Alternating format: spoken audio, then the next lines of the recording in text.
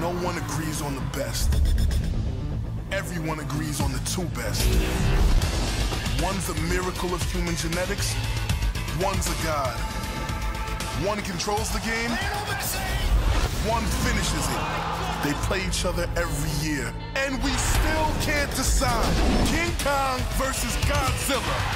Does it matter who wins?